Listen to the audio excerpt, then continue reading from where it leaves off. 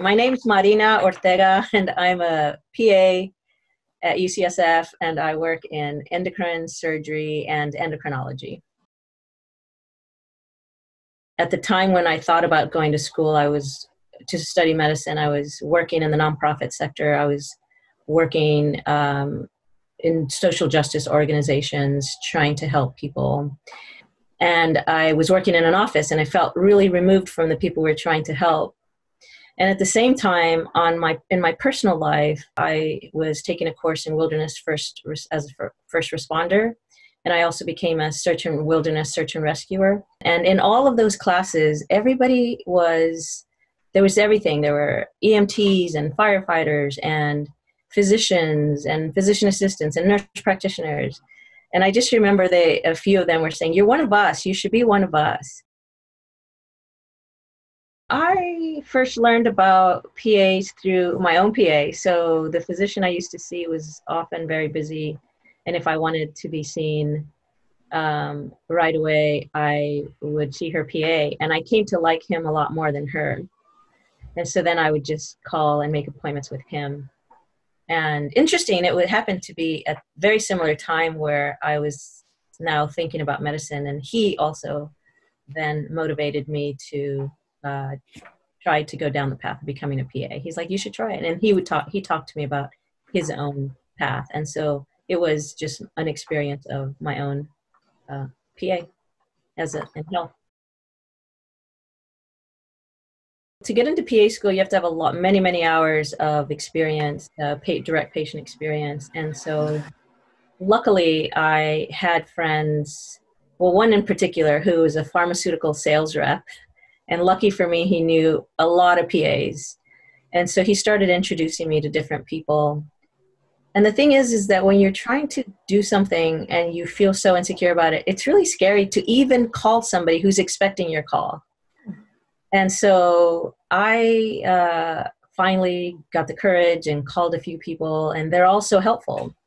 And so I got invited to uh, come and be a, this like ad hoc a medical assistant at a doctor's office in San Francisco where they let me just do as much as possible and taught me as much as possible. And so I did a lot of volunteer work that way.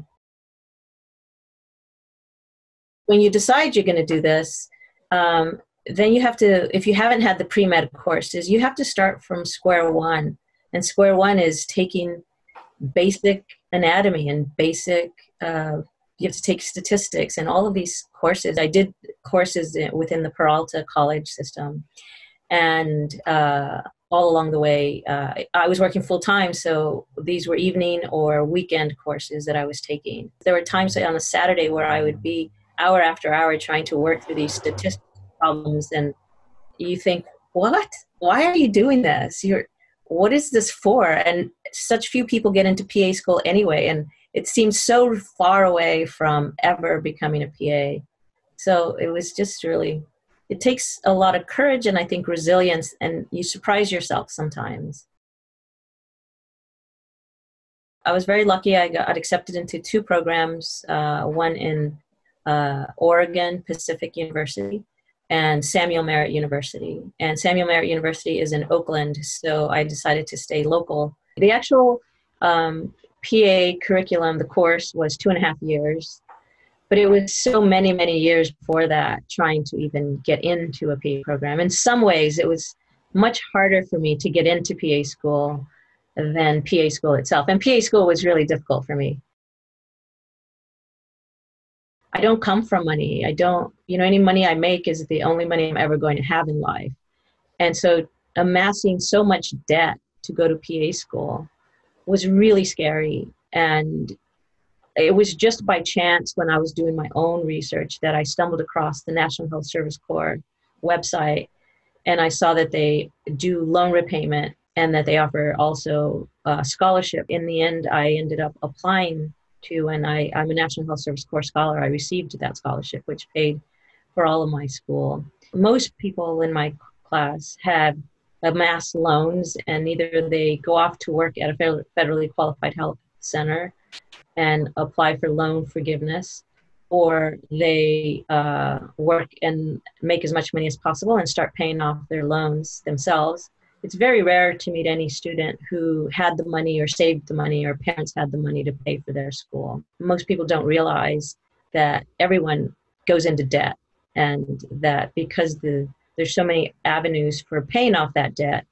um, they should still pursue it because the incomes are so high and growing.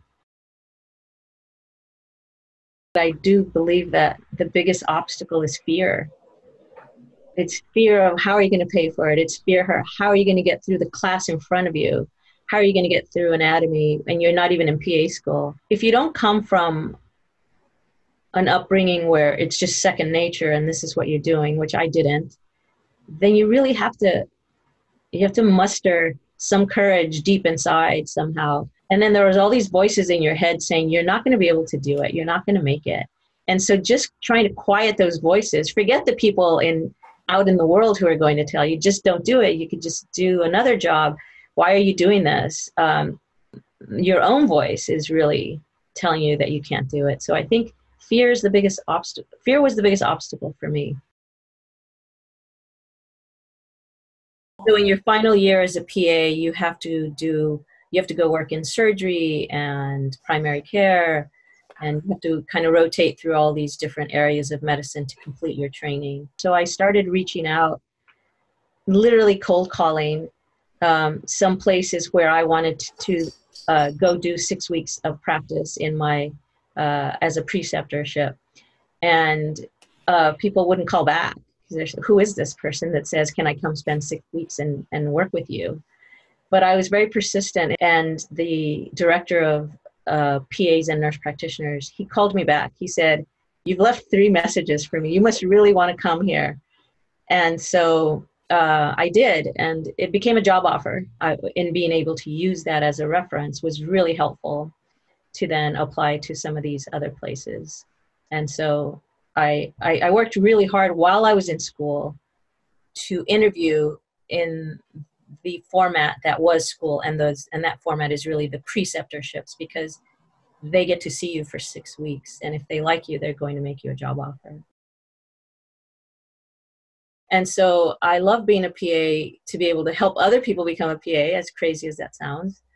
Um, and I love being a PA because it really brings me directly in line with my values. And so I work really hard to make sure that everybody receives excellent care.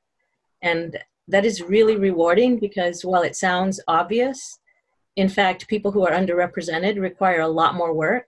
And I love that. I love that I'm wide awake to that and that I get to make sure that they have an excellent experience so the most challenging part is to really try is you're working in teams of people and to trying to bring the voice and the experiences of underserved people um, to the forefront. The challenge is now very exciting time to address that challenge uh, because there is so much focus on equity. And so what I find the most challenging is about to become the most exciting, probably, time of my career in my lifetime at right now. The most surprising thing about becoming a PA to me was how how how wide the reputation is now. It's very well known. You don't have to explain to too many people what a PA is. I, I love that everyone talks about PAs working to the top of their license, and which means that they really understand the role of PA and the value that, that PAs bring. And the same thing goes with salaries. The salaries have just continued to just go up and up and up, really, uh, every year, even in primary care for PAs. If you're afraid, you're in good company. but don't let it stop you look seek people you know you won't make it on your own if you're in a class that's difficult you just have to be willing to meet with the teacher you know any of the instructors they're there to help they want to help. So you have to really muster the courage. Don't you'll be afraid but you should do it anyway. And all along the way you just need to try to do everything you can to meet people who have walked in your shoes. And there are people who have walked in your shoes. There are a lot of people who are terrified of the cost who were terrified of the next class they were going to take. There are a lot of people who are willing to help you and mentor you and give you advice and introduce you to people.